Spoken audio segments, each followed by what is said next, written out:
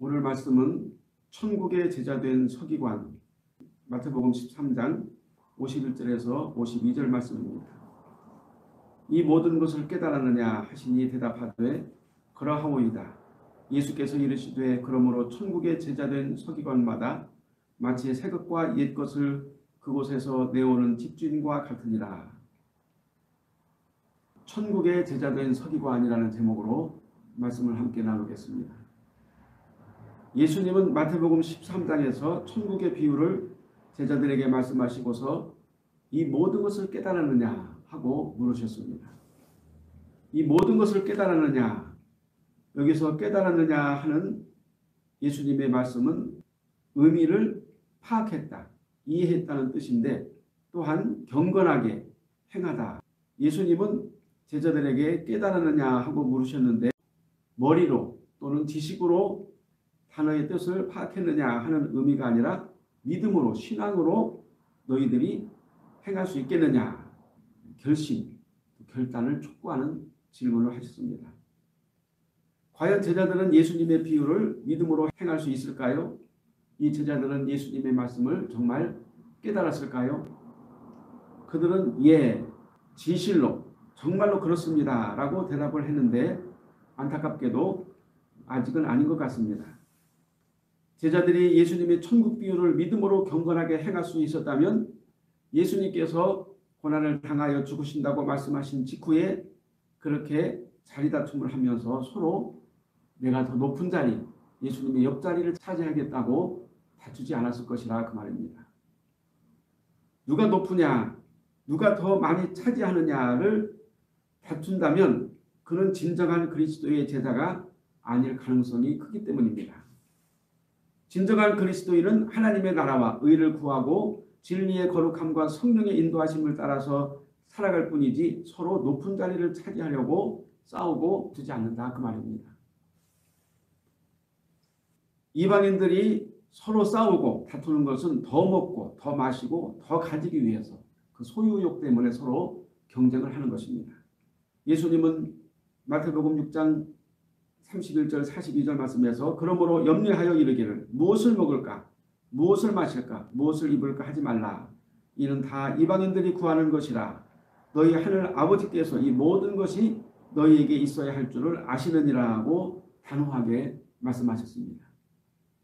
우리가 이 예수님의 말씀을 생각해 볼 때 예수님은 너무 야박스럽지 않으신가? 이렇게 생각할 때도 있습니다.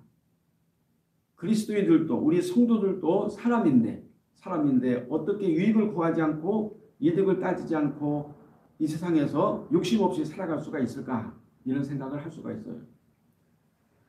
여기서 예수님의 말씀은 유익을 남기지 말라라는 뜻이 아니라 정직하고 성실하게 그리고 하나님의 뜻을 따라서 살라 살아가라는 말씀입니다.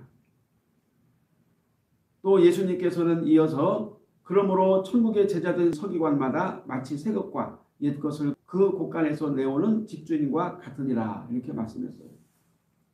여기서 이제 우리가 서기관에 대해서 알아본다면은 서기관은 고대 히브리 사회에서 기록하는 일에 능숙한 사람을 가리킵니다. 왕의 명령을 백성들에게 전달하는 사람이기도 하고 그러나 구약시대 특히 포로 생활 이후에 신약 성경에서는 서기관들은 유대인들의 율법에 능한 사람 혹은 율법 교사 또는 율법을 모세 율법을 해석하는 해석자로 그렇게 이제 알려졌습니다. 그래서 에스라는 모세 율법이 익숙한 서기관이었다고 에스라 7장 6절에서 말씀하고 있습니다. 특별히 신약 시대의 서기관들은 성경 기록들을 보존하고 설명하는 일을 하기 위해서 특별 교육을 받은 사람들입니다. 그래서 그들은 성경을 필사하고 어려운 구절을 해석하는 일을 했으며 특별히 율법의 전통과 거칠에 능숙한 사람이었다라고 마태복음 15장 1절에서 6절까지 말씀하고 있습니다. 유대인의 저자들은 서기관들이 이스라엘 민족의 훈육 선생이었다고 말하기도 합니다. 그들은 마을마다 다니며 토론회를 열고 질의 응답 시간을 갖는 것을 통해서 자기들의 직무를 수행했습니다. 그들의 영향력, 이 서기관들의 영향력은 막강했으며 그들 중 많은 이들이 사녀들인 회원이었고 그들은 특히 장로들과 대제사장들과 함께 다니면서 강의를 하기도 했습니다. 그들은 바리새인들처럼 그리스도를 매우 싫어했으며 제사장들과 연합하여 예수님과 예수님을 따르는 자들을 크게 핍박하였고 실제로 모세와 다른 선지자들이 예수님에 관해서 기록한 것을 거의 인정하지 않았다. 선지자들의 선지서의 말씀을 예수님에 대한 예언으로 인정하지 않았다 그 말입니다. 서기관이라고 불린 사람들은 율법 박사 혹은 율법사라고도 불렸습니다. 그러므로 서기관은 학식과 지혜가 뛰어난 사람을 가리켜서 말하기도 했습니다. 예수님은 천국의 비유를 말씀하시면서 서기관을 언급하셨어요. 예수님에게 서기관은 어떤 사람들로 비춰졌을까요? 서기관들은 원래 하나님의 말씀을 정확하게 기록하는 일을 하는 사람들이었습니다. 그들은 어찌나 경건한지 여호와 여호와라고 하는 하나님의 이름을 기록할 때는 목욕을 하고 기도하는 마음으로 그리고 펜을 깨끗이 닦고 정성을 다해서 경건한 마음으로 기록했다고 합니다. 그러고도 하나님의 이름인 여호와를 부르기가 너무나 두려워서 엘로힘이나 아도나이로 바꾸어서 그 여호와의 이름을 읽도록 그렇게 했습니다. 그들은 자신의 사명을 실수 없이 감당하기 위해서 구약 성경을 기록할 때 한 획, 한 점이라도 실수하지 않기 위해 극도의 주의를 기울였다고 합니다. 그러나 서기관들은 점점 율법주의로 변질되어서 예수님 당시에는 서기관과 바리새인들은 거의 같은 의미로 율법주의자 또는 외식주의자로 그렇게 예수님께서 말씀하셨습니다. 예수님은 서기관들과 바리새인들을 일반적으로 외식하며 거짓된 자들로 규정하여 화이실진저라고 책망하셨습니다. 헤로드 왕이 예수님이 성육신을 하셨을 때 그리스도가 어디서 나겠느냐 하고 물었는데 그때 유대 땅 베들레헴이라고 미가서 5장 2절을 인용해서 정확하게 그리스도 메시아가 오실 장소를 헤로드 왕에게 서기관들이 가르쳐 주기도 했습니다. 어떤 서기관들은 예수님을 매우 싫어하며 시기 질투하며 빈정거리고 시험하기도 했지만 그러나 어떤 서기관들은 예수님에 대해서 매우 좋게 여겨 제자가 되고자 하기도 했고 예수님의 말씀을 참으며 옳다고 인정하는 서기관들도 종종 있었습니다. 예수님은 서기관들의 정확하고 실수 없는 기록을 연상케 하는 말씀을 하셨는데 마태복음 5장 18절 말씀에 진실로 너희에게 이르노니 천지가 없어지기 전에는 율법의 1.1획도 결코 없어지지 아니하고 다 이루리라. 이렇게 예수님께서도 서기관들의 그 정확성을 인정하셨습니다.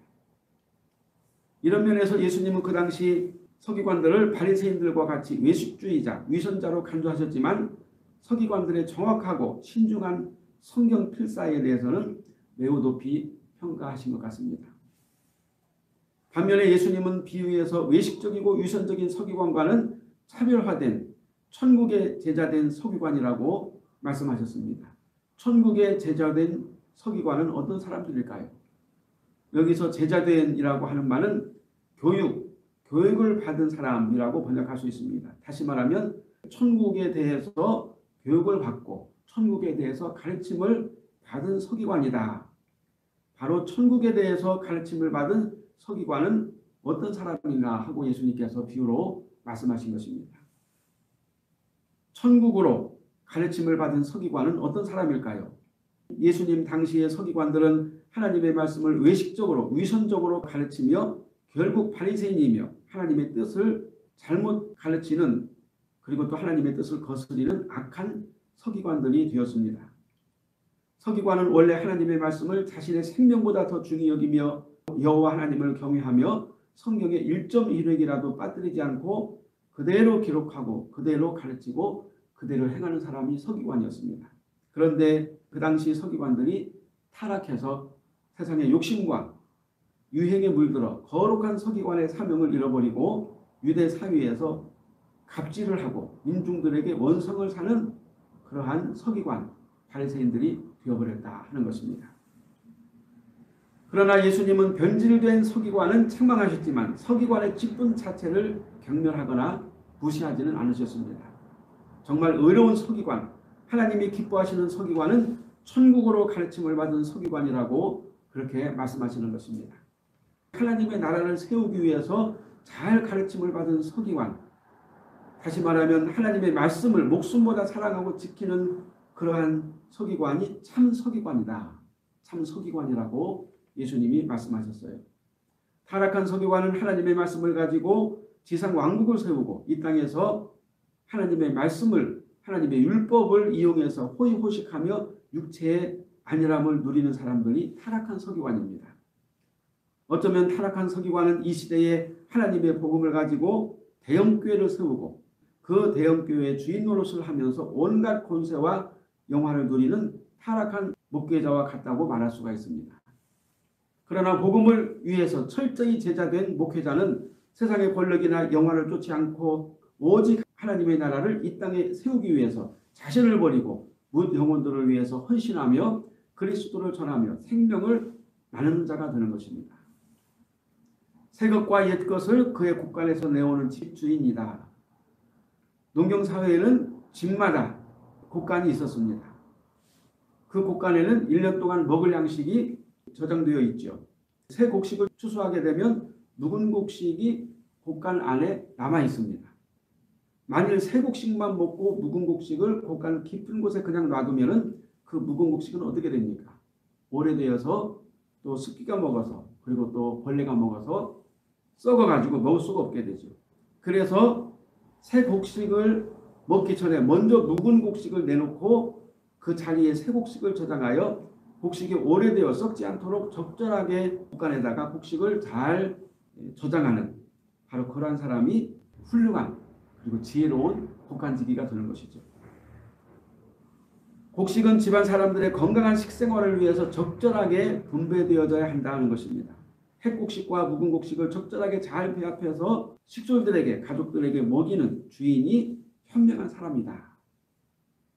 하나님께서는 섭리를 따라서 모든 사람들을 이끄시고 결국 구원으로 인도하시는데 이 섭리라는 하나님의 섭리에서 섭리라는 단어의 뜻은 첫째로 하나님의 뜻을 섭리라고 말합니다.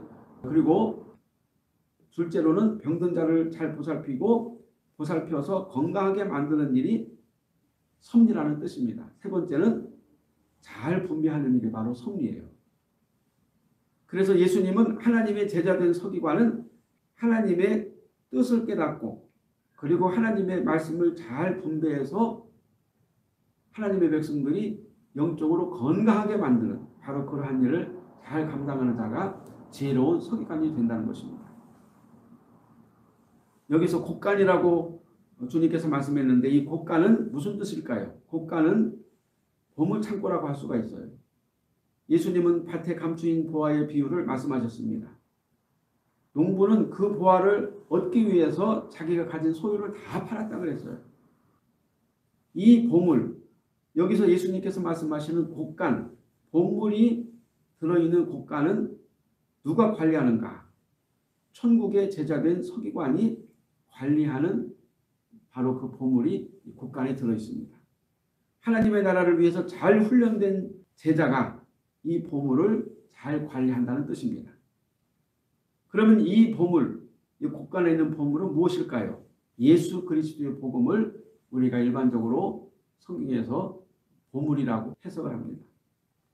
우리는 예수님의 비유에서 보아는 곧 그리스도의 복음임을 알 수 있습니다. 그리스도의 복음 안에는 새 것과 옛 것이 있어요. 그리스도 복음 안에 있는 새 것과 옛 것은 무엇일까요? 일반적으로 우리가 이 새 것과 옛 것을 해석할 때 새 것은 신약이고 옛 것은 구약이다 이렇게 말할 수 있는데 그 당시 예수님께서 이 비유를 말씀하셨을 그 당시에 비춰보면은 신약이 아직 완성되지 않았기 때문에 아마도 적합한 해석은 아닌 것 같습니다. 그렇다면 예수님께서는 무엇을 새 것이라고 말씀하시고 또 무엇을 옛 것이라고 말씀하셨을까요? 새 것은 영혼이고 옛 것은 육체라고 볼 수가 있습니다. 새 것은 장차 영원한 세상이고 옛 것은 쓰러져가는 이 세상에 썩어져가고 나중에 사라지고 없어지는 이 세상을 옛 것이라 이렇게 말할 수 있어요. 예수님도 이 세상에서 육신으로 오셔서 육신의 삶을 33년간 사셨지만 죽으시고 또 부활하시고 승천하셔서 지금은 완전한 어, 하나님으로서 영광스럽게 하나님의 보좌 우편에 계시면서 모든 성도들의 구주가 되시고 또 하나님이 되시고 왕이 되시고 모든 영혼들을 구원하는 그리스도 구세주가 되어 주셨습니다. 예수님께서 육신의 것을 구하지 않으셨지만 예수님은 육신의 것 없이 33년을 살다가 하나님에게 올라가신 것은 아니었습니다. 아마도 예수님도 지금은 아니지만 그 당시 육신으로 이 세상에 오셨을 때는 육신의 것이 필요하셨는데 바로 그것이 무엇입니까? 의식주지요. 무엇을 먹을까? 무엇을 마실까? 무엇을 입을까 하지 말라. 이는 다 이방인들이 구하는 것이라.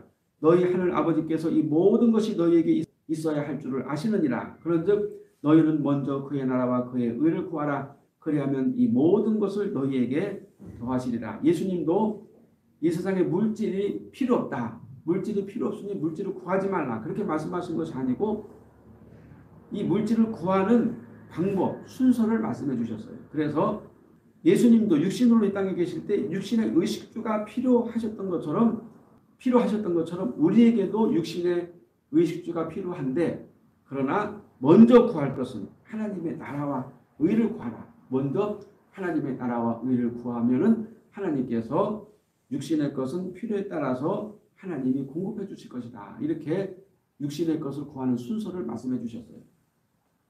그러므로 예수님께서 말씀하시는 새 것은 영적인 것이고 옛 것은 육적인 것이다. 이렇게 우리가 해석할 수가 있습니다.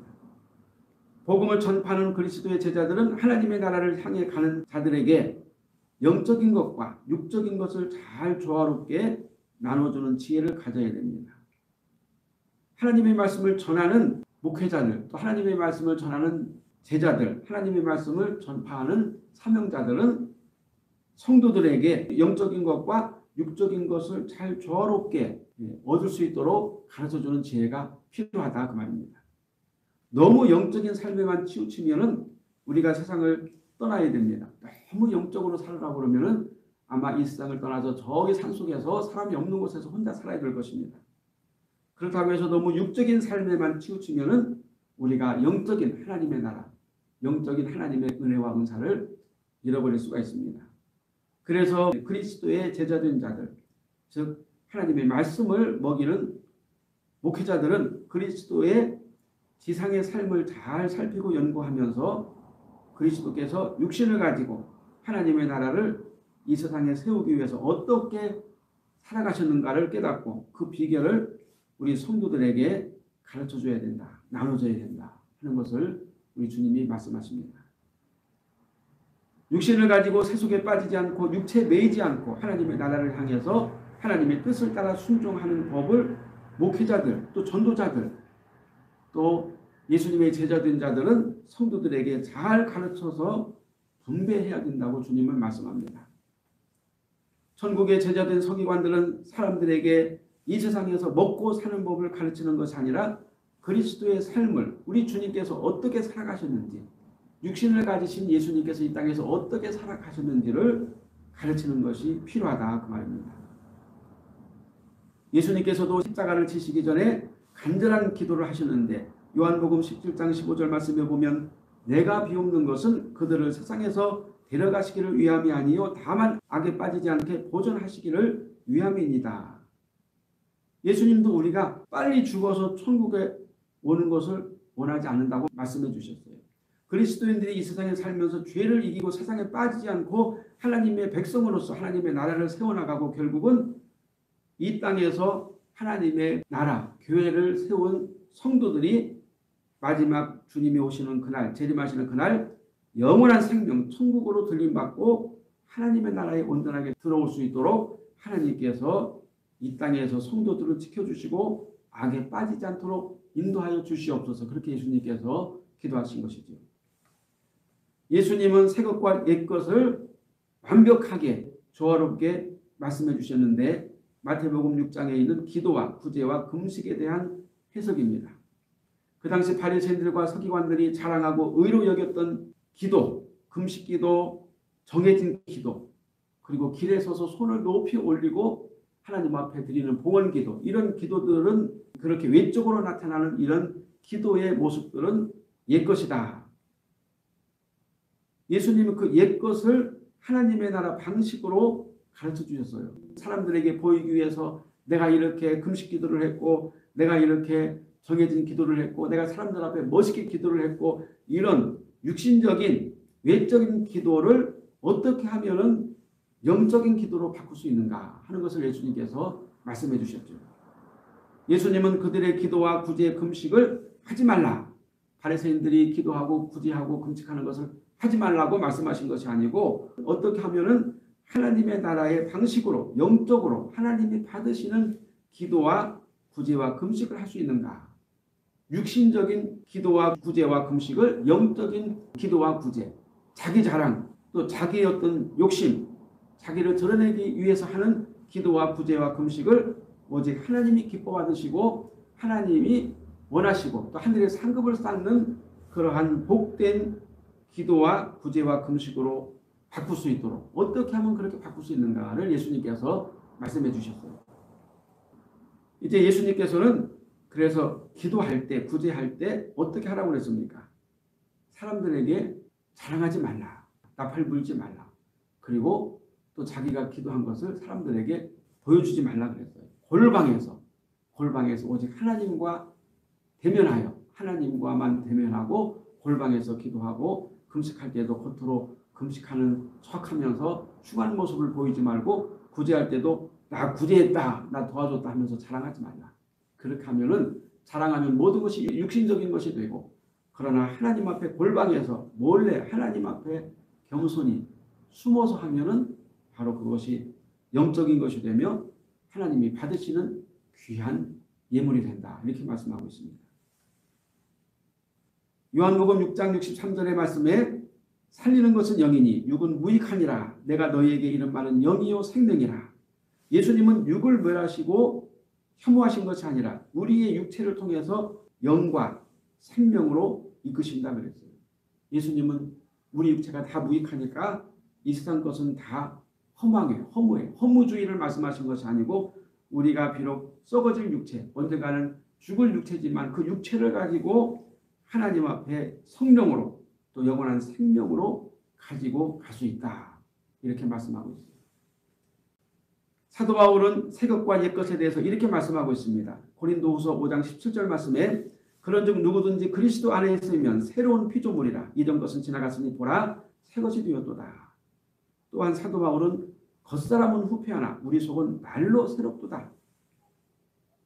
바울이 바울도 마찬가지로 예수님처럼 우리 육신이 무익하고 육신은 죄덩어리니까 그냥 육신은 버려라. 육신은 다 그냥 어차피 썩어질 것이니까 신경 쓰지 마라. 이렇게 말씀하신 것이 아니고 우리 썩어질 육신, 우리 연약한 육신 가운데 예수 그리스도를 품고 예수 그리스도의 거룩함과 영광이 우리 안에 거하도록 하라. 바로 그것이 뭡니까? 속사람, 우리 영혼을 믿음으로 성령으로 강건하게 만들라고 말씀하고 있는 것입니다. 그래서 우리 육신의 사람은 나이가 먹으면 세월이 가면 점점 쭈글쭈글해지고 소해지지만 그러나 우리 영혼은 우리 영혼은 날로 날로 예수 그리스도 안에서 성령으로 하나님의 말씀으로 새로워지고 강해지고 그리고 또 점점점 영광스럽게 된다고 말씀하고 있습니다. 썩어질 육신으로 어떻게 거룩한 하나님의 나라에 들어가는가를 잘 깨닫고 사람들에게 그 비밀을 가르치고 나눠주는 자가 바로 예수님께서 말씀하신 천국의 제자된 서기관이며 새 것과 옛 것을 그 곳간에서 내오는 지혜로운 집주인과 같다. 이렇게 말씀합니다. 그러므로 하나님의 말씀을 이기적이고 정욕적으로 자기 욕심을 위해서 육신적인 육체적인 욕심을 위해서 하나님의 말씀을 사용하면 악한 서기관이 되고 하나님의 말씀을 죄를 이기고 거룩함과 천국의 열쇠, 거룩한 말씀, 경건한 말씀으로 또 하나님을 의지하며 또 하늘을 소망하는 그런 영적인 말씀으로 잘 사용하면 우리가 그리스도의 서기관, 예수님이 칭찬하시는 지혜로운 서기관이 된다 그 말입니다. 우리 그리스도인들은 율법적이며 외식적이며 육신의 욕심을 추구하고 멸망할 세상에 견고한 집을 짓는 어리석은 서기관과 바리새인들이 아닙니다. 우리 예수 믿는 사람들은 예수 믿고 이 땅에서 돈 많이 벌고 사업에 성공하고 그리고 출세해서 잘 먹고 잘 살고 자랑하고 어, 이 세상에서 떵떵거리며 사는 것이 진정한 그리스도인이 아니라 그 말입니다. 진정한 그리스도인, 참된 그리스도인, 참된 서기관은 누구냐? 하나님의 나라를 소망하며 육체의 죄와 욕심을 죽이고 하나님의 말씀으로 내 영혼을 날마다 새롭게 새롭게 말씀으로 먹이고 성령으로 거룩하게 만들어서 그리스도의 거룩함, 하나님의 거룩함, 하나님께서 내가 거룩하니 너희도 거룩하라. 거룩한 하나님의 자녀의 삶을 살아서 천국의 제자들이 되고 마지막에 거룩한 하나님의 나라에 들어가서 하나님과 함께 예수 그리스도와 함께 영원히 사는 것이 바로 진정한 그리스도인이요 그리고 지혜로운 하나님이 기뻐하시는 서기관이 되어지는 줄로 믿습니다. 기도하겠습니다.